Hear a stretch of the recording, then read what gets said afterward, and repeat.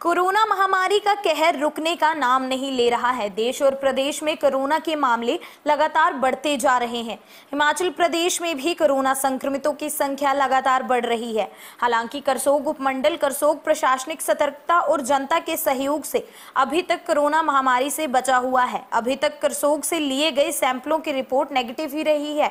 फिर भी इस महामारी से निपटने के लिए प्रशासन और समाज सेवी पूरी सावधानियाँ बरत रहे हैं। इसलिए कोरोना से जागरूकता जागरूकता के लिए प्रशासन, समाज सेवियों और नगर पंचायत पार्षद बंसीलाल की पहल पर उपमंडल करसोग के अलग अलग क्षेत्रों में एलईडी स्क्रीन लगाई जा रही है।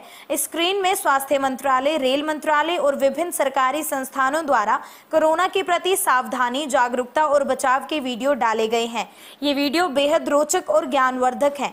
एसडीएम करसोग सुरेंद्र ठाकुर बीएमओ करसोग राकेश प्रताप और नागरिक अस्पताल के अन्य चिकित्सकों के संदेश भी इसमें प्रसारित किए जा रहे हैं। करसोग बस स्टैंड के बाद अब करसोग अस्पताल में भी ये जागरूकता वीडियो प्रसारित की जा रही है। आने वाले कुछ दिनों में करसोग के अंतर्गत आने वाले चुराग, तत्तापानी, पांगड़ा और अन्य कई जगहों पर जागरूकता एलईडी लगाई जाएगी।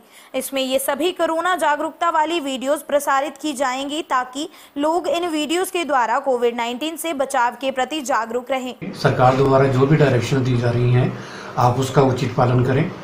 सोशल डिस्टेंसिंग मेंटेन करके रखें। कम से कम एक मीटर का फासला लोगों से बना के रखें। जब तक ज़रूरी ना हो, भीड़ भाड़ वाले इलाकों में आप निकलने से बचें। और हॉस्पिटल में भी जब तक बहुत ज़रूरी काम ना हो, आप ना आए। अगर आप किसी से बातचीत करते हैं या छींकना आप छींकते हैं या खांसी आती है तो आप सोशल एटिकेट्स का पालन करें। छींकने के लिए आप अपने बाजू में साइड पे करें, ताकि उसके जो किसी भी, सिर्फ़ कोरोना नहीं, उसके अलावा किसी भी तरह की अगर इन्फेक्शन है, सामने वाले के मुँह में ना जाए। इसके अलावा बार बार आप अपने हाथ साबुन और पानी से धोएँ, और अगर सैनिटाइज़र उपलब्ध हो तो आप उसका प्रयोग करें। करसोग से मोहन शर्मा की रिपोर्ट।